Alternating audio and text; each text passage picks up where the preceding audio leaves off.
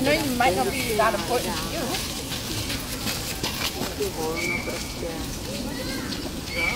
A to ještě je tady to zelený prázdný.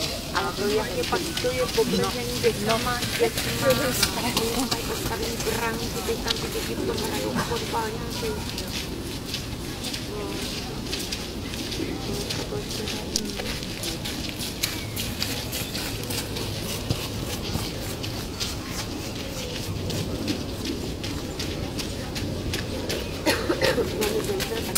No, to no, no nic výjimečného. No, no, no.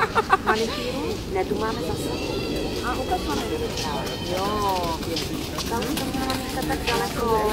Viděla jste to? No. Tak to jsme rádi, že to máme, ale přijde aplikace, skupina jedna a dopoledne pojedeme do DMK. Tu mám rád, to zítra, co potřebujeme. Jo, tak tam si sjedeme zítra spolu odpoledne. A e, úterý, úterý máme